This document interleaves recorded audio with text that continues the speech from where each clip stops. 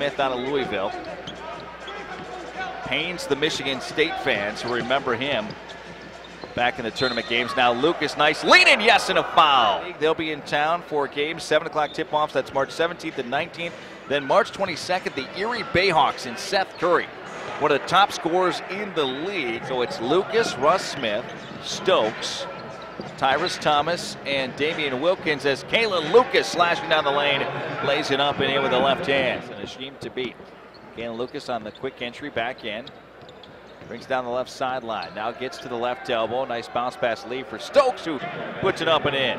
Jarnell Stokes starting to just doesn't quite have the range tonight from three, which is a part of his game. Rebound, Iowa. Larry Owens to Kalin Lucas.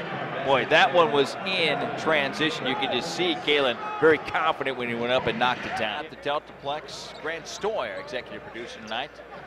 Missed opportunity by Grand Rapids, who started with the basketball as Manny Atkins driving, trying to get it to beat.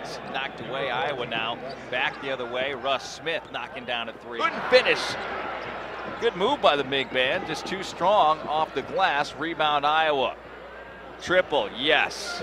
Kalin Lucas from Russ Smith that time.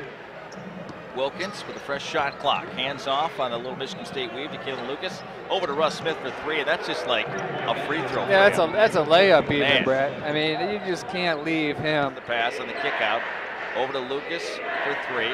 Lucas waves away Smith. Now bounce pass to him at the top. Yes. Just beat the shot clock.